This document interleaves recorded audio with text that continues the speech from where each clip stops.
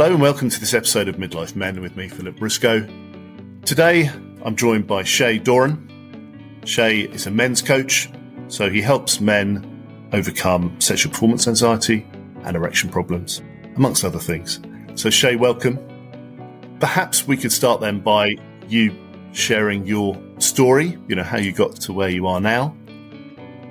Yeah, okay, so I'll try and condense this, summarize 10 years probably down into a, a, a minute or two. So, um, let's say there was life before 2018 and then there was life after 2018. So, life before 2018 was 12 years in banking. On the surface level, everything appeared great in life in terms of nice house, nice car, could buy what I wanted to, go where I wanted to in the world, you know, these kind of things. Everything looked great. And actually, I had a really bad relationship with porn and with sex. I thought that was all very normal. I thought, well, every guy watches porn. It's normal to engage in regular hookups. And uh, I didn't actually realize the amount of destruction that was causing in my life. And I wasn't going to realize that for another at least five years or so. Uh, and then fast forward to 2018, I decided to quit corporate the corporate world, travel the world, get a backpack on and travel the world. I was in a relationship at this point. And fast forward a few years, I mean, that experience just totally changed my life. Anybody that's traveled will know that traveling is an incredible experience. So yeah, that, that opened my mind to the whole world of taking my life in the direction that I wanted to and realizing that I wasn't just this kind of cog in the machine of the corporate world, that I could design a future for myself and step out on my own two feet. Going back to the addiction to porn, what sort of frequency, you know, what was the intensity of that addiction? Yeah, this is an interesting question. This is one that comes up quite a lot. So for me personally, I would say it was generally a a daily thing, not always daily. Sometimes it could be more than once daily. Sometimes it could be less than that. It's more so, as now I understand it, about the the relationship that we have with porn as opposed to the the frequency of it. It's what kind of patterns am I creating in my mind? Am I creating a pattern that says, right, porn releases more is more enjoyable than sex with an actual person? There's multiple needs that porn meets, which hopefully we'll be able to get into throughout today to discuss why that can happen and why it happens to so many men. So yeah, for me, I would say that's where the, the frequency was, but over a long period of time, you know, I think the statistics now is something like by the age of eight, 80% of boys have watched porn because it's so accessible now. So there's no hiding from this. And I think I was part of the first generation that had access to smartphones and high speed internet. So it was all there immediately, whatever you wanted to see for free. So it was, um, yeah, immediately accessible. And maybe we get into this in a bit, but was it informing your choices? You know, were you choosing porn over other things? No, I wouldn't say I was choosing porn over sex as as far as I when I look back on that, I wouldn't say I was doing that, but I would say it was it was impacting. It was one of the factors that had started then after uh, a few years after eight, 2018 had started to impact performance in the bedroom. And I had no idea. I had no idea. All I knew was that I had this sense of frustration with my life and that why wasn't my life going in the direction that I wanted it to. I noticed that I was pushing people away or feeling quite agitated when it came to conversations with people. And this is all effects that not only porn, it, it was not, porn wasn't the number one thing. There was other things as well, which happy to cover. But I would say those were the main factors that it was impacting in my life. I was, you know, had this sense of frustration. Why is my life not going in the direction that I wanted it to? And then also started to notice impacts in the bedroom in terms of erection quality and performance. What was the trigger then that where you thought, right, I need to to stop and I need to uh, was was going traveling your you know you you tried to kind of change your habits by going traveling or was were there, were there alternative triggers to, to making that decision? So I, it kind of happened in steps. So traveling opened my mind to the world. When i came back from this first year of traveling i knew that i didn't want to go back to the corporate world I wanted to do something for myself where I could be location independent. I had no idea, had no idea what to do. I just had this voice saying to me, just get back out into the world and learn. So I started to listen to podcasts, read books. I hadn't read books for years and years, but started to read mindset, self development books, go to seminars. And then I felt like this whole expansion of my mind just happened, which then led me to uh, getting a coach. And this is the ultimate thing that then led to the trigger being pulled. So it was that kind of step by step journey of traveling first, then not knowing what to do, but just knowing I needed to learn more, taking my learning about myself to a whole nother level, which led to a coach. And then a conversation happened.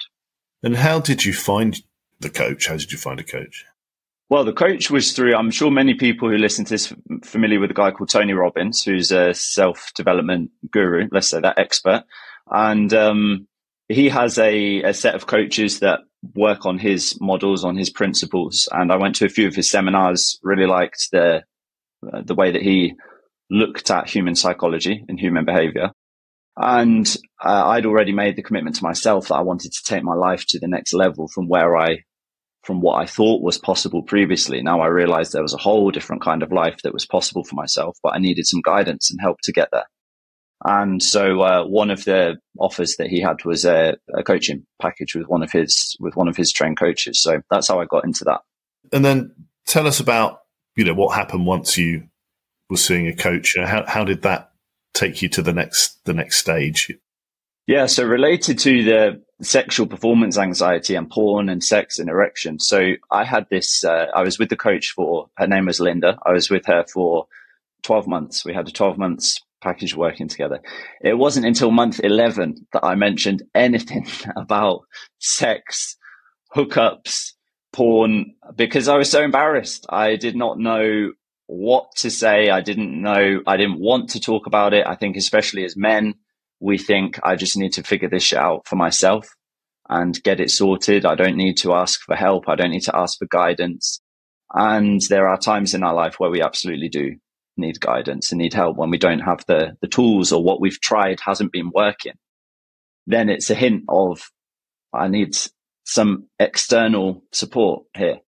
So um, the reason why I mentioned it is because, as I said, I got to this point where I was just really frustrated. The businesses that I was trying weren't working. I was questioning myself, and it felt like my self esteem was through the floor.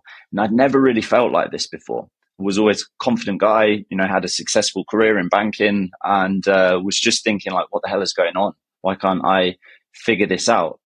And so got to a point where eventually I, we had a conversation and she asked me to do this drawing of three circles. And I had to draw the size of the circle to represent the time and energy that I was putting into these three different areas. One was business, one was self development, and one was relationships.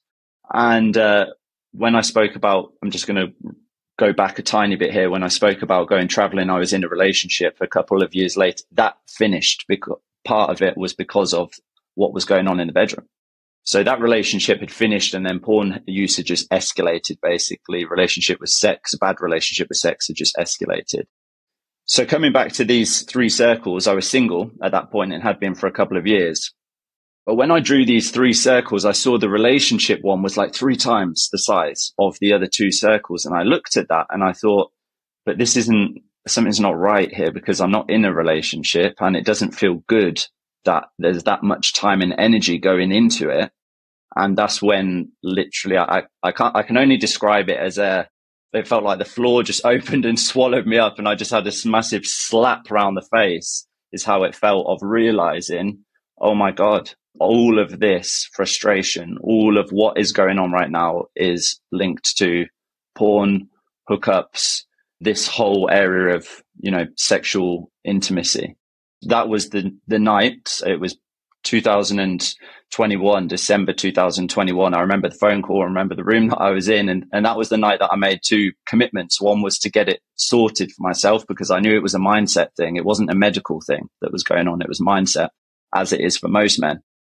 And then the second thing was to, the second commitment was to help other men. Once I'd figured it out for myself of how to get it sorted, it was then to help other men to do the same.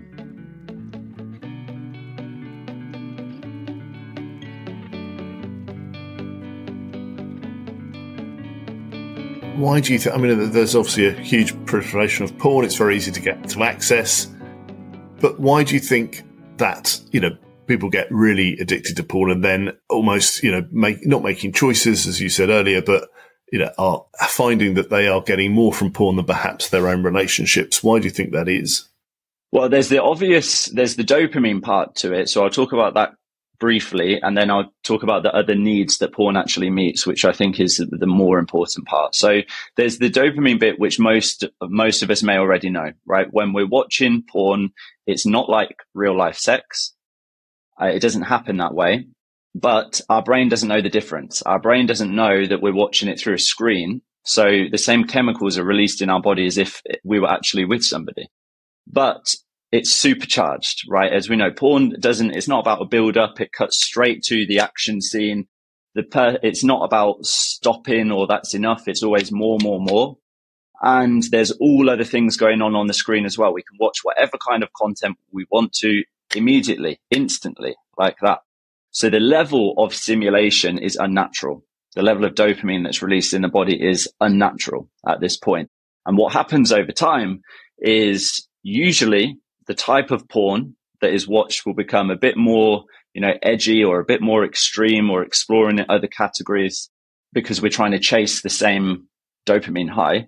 Just like with drugs, right? A drug addict doesn't usually start on heroin. They'll start on something softer and then it will build up over time. Same with gambling, right? It doesn't start with let's put a hundred grand down in the casino. It starts with let's put a few dollars or a few pounds and chasing the high. It's exactly the same thing with porn. And then what happens with over time is it comes to real life sex and the same amount of dopamine. It's not possible to release the same amount of dopamine. So we're not able to get hard. We're not able to get as stimulated or turned on in that moment because our mind is used to a whole different level of getting turned on. So is the mind blocking the kind of physiological reaction? I mean, what stops, you know, the, the erection? is the mind blocking what should actually happen naturally? Well, the mind is saying this just isn't doing it for me. And so, whilst yes, the chemicals are still being released, like d- dopamine's the main one here, it's just not being released at the same level as what it is when we watch porn because it's so much more, it's hyper stimulating. The body's still doing what it should be doing, but it's just, it's doing it at, let's say, a level one instead of a level 10. And when it's with porn, it's at a level 10. That's what's going on with dopamine. But there's also other needs that porn is meeting that's important to be aware of as well. So there's this, these three other needs that porn meets. The first one is we don't have the fear of rejection.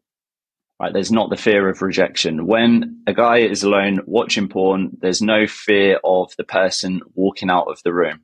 There's no fear of them saying no they say the opposite. I want more and more. Right. So there's the fear of rejection is not there. Second thing is performance anxiety doesn't exist when we're watching porn.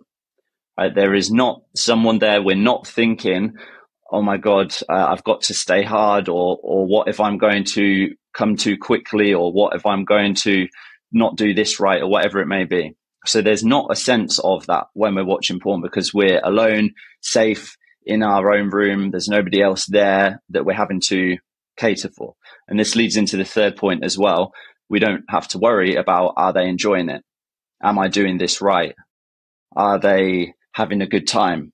Is this what they like or is it something else that I don't know? We just don't have these kinds of thoughts. So those three things, the no rejection, no performance anxiety, and not having to worry about if the person is enjoying it or not, what they ultimately equal is certainty right? When we don't have to think about those things, it gives us a high degree of certainty in that moment of watching porn and certainty equals safety, right? And when we're, this is what we look for as human beings all the time. Am I safe? Am I loved? These are the two needs that we're searching for all the time. Am I safe? Am I loved? So when we're watching porn, we're highly safe. Everything's very safe, but it doesn't take us in the long term where we want to be going.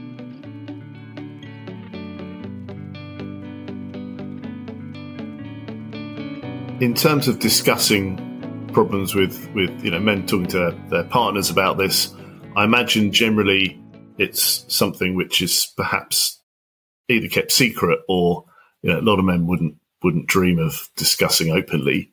Certainly, if you know, as you said, if if if they're properly addicted to porn. Yeah, yeah. So I think there's you know with the, the work that I do, there's usually two. Porn plays a part, but it's totally possible for men to be and women as well to be uh, have porn addiction. By the way, but usually I, I I just work with men.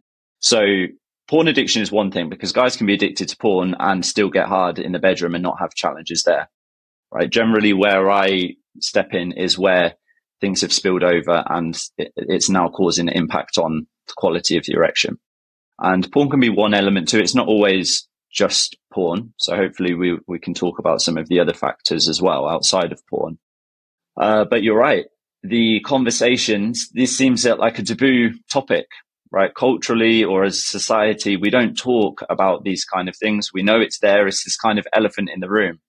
But when it then leads to not able to get hard, we're not able to have sex and avoiding initiating intimacy because of the awkwardness or embarrassment, right? The relationship's not going in a good direction.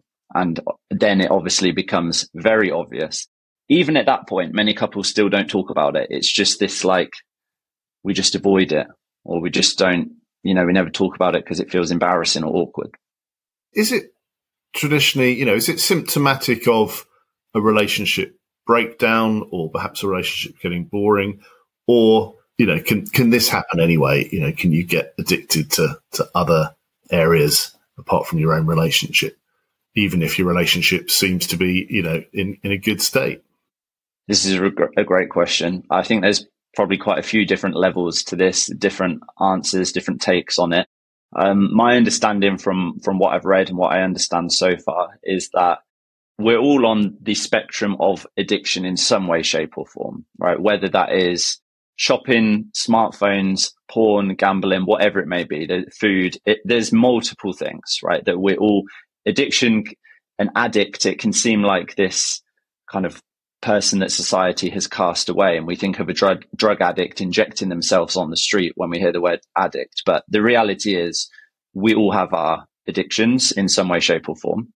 Uh, and there's obviously levels of extremity. So I think we all have a propensity for it because of the cycle that's created, whether it's social media, whether it's porn, whether it's what, it's quite easy to get into the cycle because of the needs that addiction meets. So that's one thing. Is it because of a relationship breakdown? Sometimes. Yes, it is. I was listening to an interview with Steven Bartlett and Esther Perel the other day that this one line really stood out to me was, what part of yourself do you bring back home into the relationship? Usually we give everything to business, work, whatever it may be. And we bring, we walk back through the door with whatever's left over.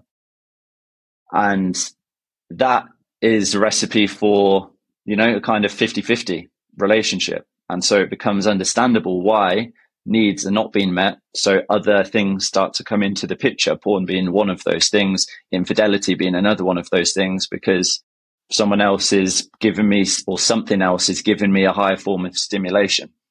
So actually I wanted to talk about that. You, you, you mentioned earlier that, you know, porn is not the only thing that's uh, can cause problems with you know performance anxiety, erections, etc. Uh, what else you know uh, is happening?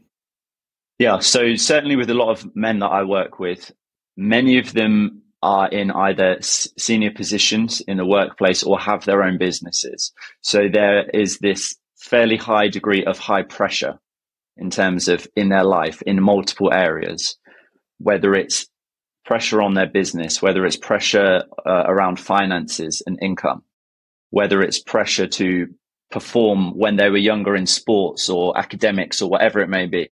And I'm yet to find a guy where this hasn't been the case of where there have been these external pressures, most of which have started from when we were at a younger age. You know, it could be being compared to why can't you be like this other kid or being ridiculed or shamed or guilted for not being good enough in the classroom or whatever it may be.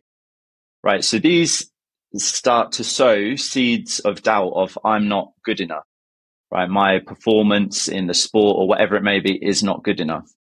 And then what happens is we go into these running our own businesses or higher senior positions and there's more pressure higher expectations, higher stress that can come with, with that. It's just a fact. And so when one or two things don't go right, there's this channel that is pathway that is reignited in our minds that basically says, I'm not good enough. Is performance anxiety, is pressure of performance, whether it's in the workplace, whether it's in financially, whether it's in the bedroom. It is this pressure of performance and the anxiety of what if I'm not good enough? And so usually outside of the porn, these are the other things that play a factor is that when for some guys, they've, let me give an example of a client that I've worked with who for years and years and years had absolutely no challenges in the bedroom. Five kids, married for 30, 40 years. To him, it seemed like it was all of a sudden one night. It just happened. Right. And what it actually was is that there was these multiple other factors going on that was high pressure in the business. He was thinking of uh, buying his partner out of the business. The partner didn't really want to, and that was a very difficult time. And there was also some external pressures going on with his kids as well. And so what often as men, what we don't realize is that there's other contexts that can impact our ability in the bedroom. What we can just lock into is, oh my God, I haven't been able to get hard. What's wrong with me? I've got a problem. Something is wrong with me. And then we carry that into the second time of like, I, I remember when this happened last time. That can't happen again. What if it happens again? Pressure, pressure, pressure, pressure. And the thing that we don't want to happen happens. We lose the erection. So you, you know, you work with men now to help with these sorts of issues. You know, what sort of things can you do then to, to kind of reverse or change the way that, that men think about, you know, their performance in the bedroom? So I think the first thing is if you're well, if you're a guy and you're listening to this and you have experienced performance challenges in the bedroom, is there can be a medical element to it. So I think it's important to always just go and get a blood check, get a tos- testosterone check as well.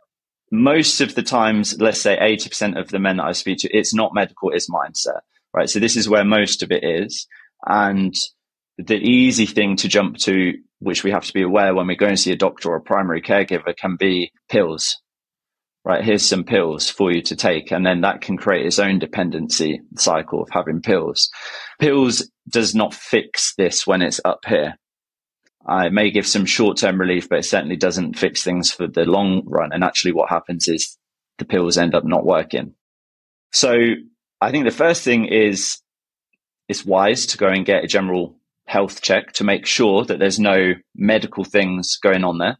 So that's the first thing. Second thing that I would say is then to try and take a step back and look at the context of the situation, right? To look at when this happened, and this is for men that perhaps feel like it just came out of nowhere, right? So to take a step back and to think, what else was going on in my life in that moment that could have, in some way, shape, or form, impacted what happened that that night in the bedroom, right? So to try and step back and take a look at a broader context. So that's for the men that feel like it's come out of nowhere. For the men that have experienced this over a prolonged period of time, so this may be going back to the first time they had sex, it not being a good experience, or uh, things have happened on and off, but pretty much consistently over time. What I would say there is you do not have to accept that this is just how things are. You do not have to accept that, oh, because I'm 50 or because I'm 60, is this is just because of my age. No, this it's, it's, it's comfortable to hide behind it being an age thing.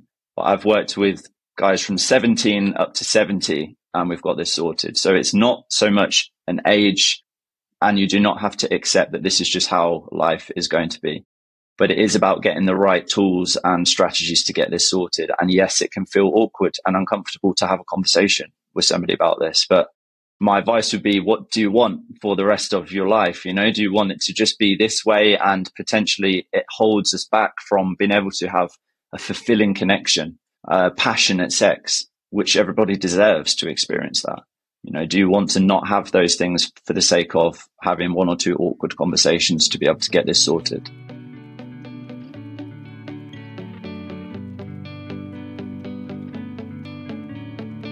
And how do we kind of normalize that conversation? Because, as you said, it's awkward. You know, it probably takes a lot to go and talk to somebody. You know, how do we normalize it so it's just, you know, it's, it doesn't have that stigma? You know, you could perhaps go and talk to your, your mates about it and, and, you know, when you're out with them. Well, I think it starts with us all as individuals, actually. I think it starts with realizing that there's not going to be somebody that comes and has this conversation and makes us feel safe. It is, it always starts with us having the conversation, whether it is with a partner, whether it's sitting down and saying, we both know this has been going on for a while and I don't have all the answers to it, but I know that I want to for us to get this sorted and for us to build back what we had in the spark that we had in the bedroom. So whether it's a conversation like that or whether it's a conversation with your kid to see, you know, to tell them about porn, to open up, to make them feel like they can talk about these types of things. And the only way that they'll feel safe to do that is if you lead, if we each lead as individuals, and if we make sure that in that leadership there's no judgment or shame. So if we've got, as you said earlier, you know, if you've got eight year old kids who are exposed to, to porn, is that, you know, is there a tsunami of these sorts of problems, you know, coming as those children, you know, grow up through their teens and into adulthood? I mean, it's more prevalent now than it was, say, 20 years ago. I mean, are you starting to see an increase as as you know as people kind of get older who were exposed at a young age to to you know extreme pornography? Yes, unfortunately, I am. And you know, you only need to go onto platforms like Reddit where people can go on and it's a bit more anonymous, right? So there's not the revealing of the identity. And you see guys on there that are 12, 13, 14, 15 upwards that do not know what to do. And they are struggling with this they know what it is. They know it's because of the relationship with porn and they don't know what to do or who to speak to. I spoke to a guy earlier this week who was 17 and he's wanting to have sex for the first time with his girlfriend and he's not able to get hard. And he knows it's because of porn. And it's, uh, so yeah, I do believe we're just at the tip of the iceberg, especially with the younger generation. And that's sad because you can imagine as a 16, 17, 18 year old wanting to explore sexually for the first time and you're not able to, that's pretty shit. That's tough as a guy to deal with. Like that's difficult. And the only way, I believe the only way that we're able to shift this, because porn isn't going away anytime soon. The money that that industry makes is, is crazy. So it's not going anywhere anytime soon. And yes, there's going to be helpful things that come in like age restrictions, etc. There's always going to be ways around ways around this. So it would be unrealistic to think that there's going to be a place in time where in the near future where kids just don't watch porn. Right? That's not happening. They will have access to it. It's about the conversations that we have in schools at home for us to be able to not let this have a tidal wave impact of mental health, self doubt, performance anxiety that then I mean, can you imagine carrying that from the age of 15, 16 for years and years and years, especially in those years where we're still forming and learning ourselves as an individual? It's yeah, absolutely. I mean, I think as you know, as a parent myself, I think it's probably easy just to sleepwalk your way through through never broaching these topics. And in fact, you know, as you're quite rightly saying, you know, you need you need to do that. You need to kind of step up and try and put a kind of normal angle on on on things earlier on to stop, you know, as you said, problems when you get older and and beyond. So you said earlier, you know, always go and see a doctor and get get yourself checked physically. But then, what do you do then? I mean, as you said, you know, pills, blue pills, perhaps aren't going to do the job. So what what do you do if you want some help from someone like yourself? You know, how do you go and find you or people who can help, you know, with those challenges and, and readdress, you know, performance and, and how men come into the bedroom and all those things that are, that they've experienced, you know, through their lives. First, I just want to say if you are a parent who's watching this and you're thinking, how do I speak to my child about it? There's a very good website that I came across called Fight the New Drug. And they have a lot of resources, free resources on there. So I'd recommend that's a good place to check out Fight the New Drug. Okay, so we go and speak to the doctor. The doctor says everything's fine, it's all mindset, or here's some Viagra or Cialis for you to take, and and you're feeling like I don't want to do that. I don't want to have to depend on pills. Then what? So the good news is, is that there are then options, right? Whether it's coaching, whether it's therapy, there's a lot of YouTube videos out there, which you may have already been spending out countless hours watching. But the, the reality is now it is about having a conversation with somebody to a one-on-one conversation with somebody to get this sorted, right? There's also apps out there as well. In my experience, the apps are helpful additions to the conversations, but it's the one-to-one conversations where it's personalized to you, right? We can actually understand what's going on, why are things where they're at right now, and how do we just shift that and get it sorted as quickly as possible. So I would say the main the main approaches when it comes to on the mindset piece is coaching therapy. Both have a let's say similar models, but a very different approach. Therapy will, is more about conversational based. Let's take time. There's not really a time limit on it. It's let's just have conversations and explore the past or explore new ways of thinking coaching, which is my personal bag because that's what worked for me, which is why I choose chose that route, is more results focused. So it's like this is where we're at, this is the result that we want. So whether that's getting hard in the bedroom as an example, and how do we get there as quickly and as safely as possible for the long term.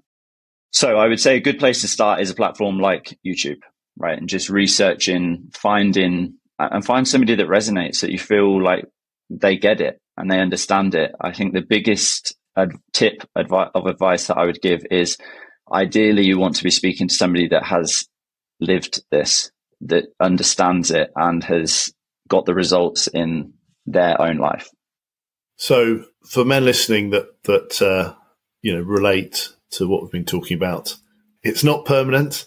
There are ways of, uh, of resolving it and having a normal, enjoyable sex life but it's understanding those factors that are affecting you, whether it's porn addiction on one end or whether it's other factors that are affecting your performance at the other, maybe around stress and anxiety and depression and all those other things.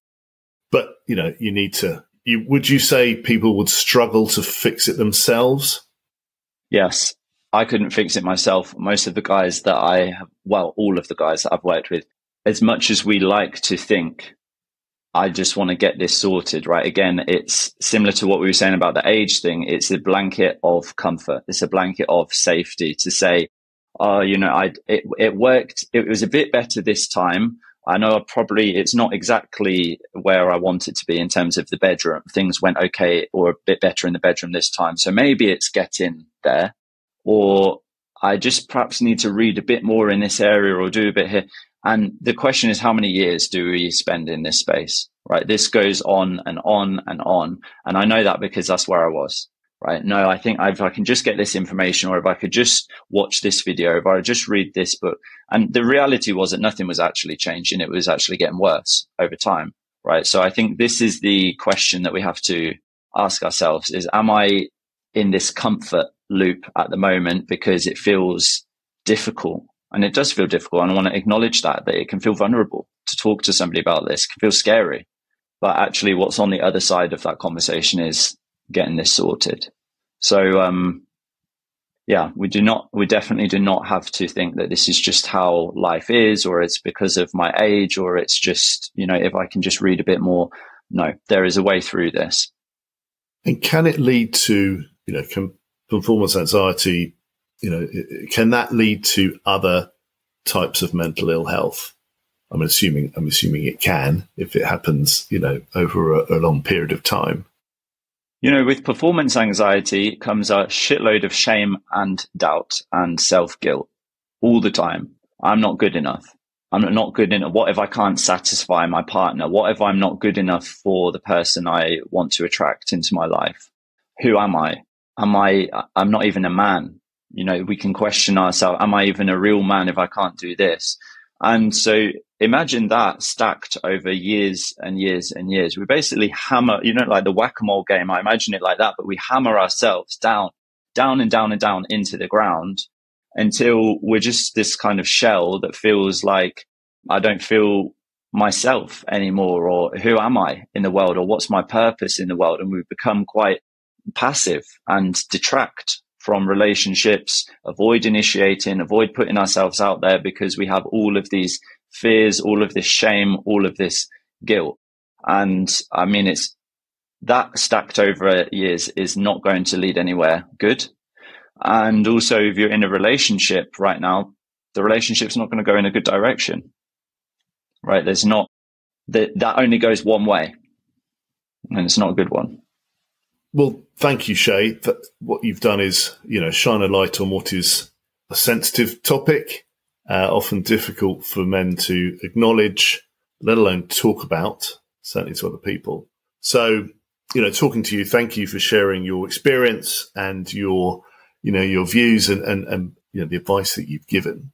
Um, so hopefully anyone listening to this who is, who does resonate with, with these sorts of issues can, you know, try and find a, a one, one step forward and we'll put the links in, in the podcast notes, uh, and also the link to your website as well, if anyone wants to talk to you one on one. But yeah, well, thank you very much. Thanks for joining us today. Great. Well, thank you for having me. And yes, whether it's me or somebody else, just get onto YouTube, just look at who resonates, who gets this. And if you felt like this resonates, then as Philip said, head to, you'll see either link to the YouTube or website in the notes. Thank you for joining me for this episode of Midlife Men, where my guest has been Shay Doran. If you want to contact Shay directly, visit his website, shay-doran.com, or his YouTube channel at shay-doran. These links, along with other resources Shay referred to in the episode, will be in the episode notes. If you have a suggestion for a topic you'd like us to cover in the podcast, or if you have a story you'd like to share, then please contact me either on Twitter at midlifemen or email me at midlifemen01 at gmail.com. Join me next time when we talk to other midlife men about their stories, and maybe you'll find that they resonate with you. Thank you.